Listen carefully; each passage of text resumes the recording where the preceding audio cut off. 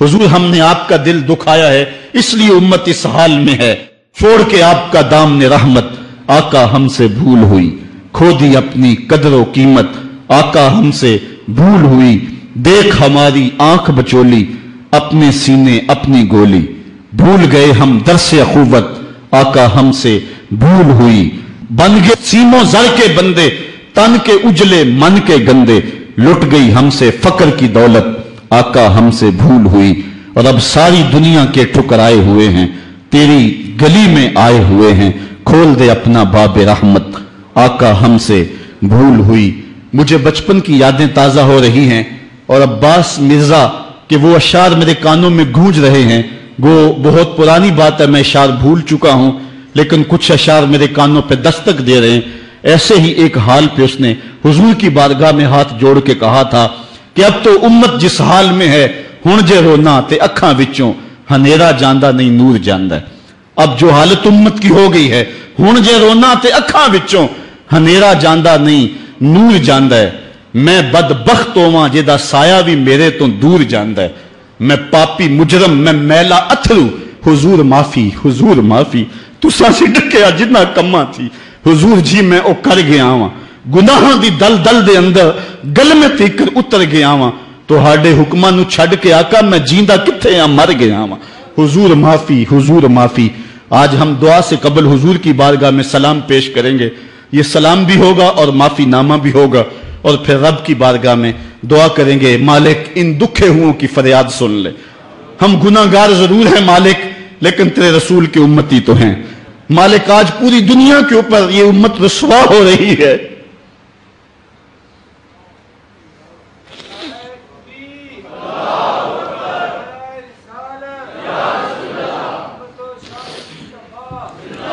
تجھ سے فریاد ہے، اے گنبد خزرہ والے۔ کعبے والوں کو ستاتے ہیں کلیسا والے۔ آج ہمارا اخلاق، ہمارا کردار اس قدر گراوٹ کا شکار ہو گیا۔ میں اس جمعے کو بیان کر رہا تھا کہ میرا ایک دوست ننکانہ گیا ہے۔ اور جب وہ اس کو شوق پیدا ہوا کہ میں گردوارہ دیکھ لوں، سکھوں کا تو وہ کہتا ہے، میں جوتے اتار کے اس فکر میں تھا کہ جوتے سنبھالوں اور کسی جم، سمت رکھوں۔ تو ایک سکھ اہلکار آگے بڑھ کے مجھے کہتا ہے، چھوڑ دے جوتے، یہ مسلمانوں کی مسجد نہیں گردوارہ ہے۔ تو کہتا ہے، میں ڈوب گیا، میرا جی چاہتا میں جذب ہو جاؤں زمین کے اندر۔ آج یہ ہماری حالت ہے کہ ہمارے ملک کے اندر رہنے والے سکھ بھی ہمیں تانا دے رہے ہیں۔ اور ہم ان کو جواب نہیں دے سکتے، ہماری حالت ایسی ہی ہے۔ اور آؤ تم ایک وہ کہانی بھی سناؤ۔ مسجد شاہی ہے اور اس کے تھڑے پہ گداگر مانگ رہا ہے۔ کہ ایک انگریز افسر آیا اور اس نے اندر جانا تھا تو گداگر نے اس کے سامنے ہاتھ پھیلا دیا۔ اس نے بٹوا نکالا اور کچھ پیسے رقم جو ہے اس کی ہتھیلی پہ رکھے۔ اور دوبارہ بٹوا جیب میں ڈالنے لگا، پھسل گیا، نیچے گر گیا، وہ اندر چلا گیا۔ گداگر نے وہ بٹوا پکڑ لیا۔ خیال تھا یہ واپس پلٹے گا تو میں اس کو یہ بٹوا دے دوں گا۔ لیکن واپسی شاید وہ کسی بغلی دروازے سے نکل گیا یا اس کو پتہ نہ چل سکا۔ تو وہ بٹوا اپنے گھر لے گیا ایک سال گزرا۔ تو دوبارہ جب وہ انگریز وہاں شاہی مسجد میں آیا دورے کے لیے، تو یہ چونکہ دور بھی انگریز کا ہی تھا، تو اس گداگر نے پہچان لیا، کہا، بابو، رکنا، مجھے تم سے تھوڑا سا کام ہے۔ خیر، وہ جلدی سے بھاگ کے گیا، گھر سے بٹوا لے آیا، جس میں ہزاروں روپے تھے، اور اس نے انگریز کو پیش کیا۔ اس نے حیرت سے کبھی کبھی بٹوے کو دیکھتا اور کبھی اس کو دیکھتا۔ کہا، تمہیں یاد ہو نہ یاد، تمہارا بٹوا گر گیا تھا اور میں نے سنبھال کے رکھا ہوا ہے۔ اس نے کہا، میں یہ نہیں دیکھ رہا، میں یہ دیکھ رہا ہوں، تم گداگر ہو ذات کے. اور ایک بٹوا جس میں اتنی کرنسی ہے اتنی رقم ہے کہ تم اچھا گھر اچھا مکان اور اچھا کاروبار سیٹ کر سکتے تھے۔ اور تم نے یہ بٹوا ایک پورا سال ہو گیا سنبھال کے رکھا۔ اس نے کہا، بابو، مکان اور کاروبار کی کہانی نہیں، جو کہانی ہے وہ غیرت اور عزت کی ہے۔ اس نے کہا، کیا کہانی ہے؟ اس نے کہا، تو عیسائی ہے اور میں نوکر ہوں رسول اللہ کا۔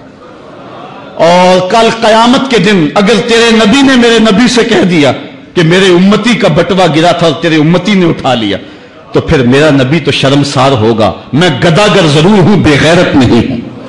اس دور کے گداگاروں کی کہانی یہ آپ کو سنا رہا ہوں۔ اور اگر آج کے شاہوں کی کہانی چھیڑوں، آج کے وزیروں کی کہانی چھیڑوں، آج کے مشیروں کی کہانی چھیڑوں، اور آج کے اہل سرمت کی کہانی چھیڑوں، تو شرم سے سر جھک جائیں۔ ایک وہ دور تھا، یہ دور غلامی کی کہانی تمہیں سنا رہا ہوں۔ میں تمہیں عمر بن عبد العزیز کے دور کی کہانی نہیں سنائی ہے۔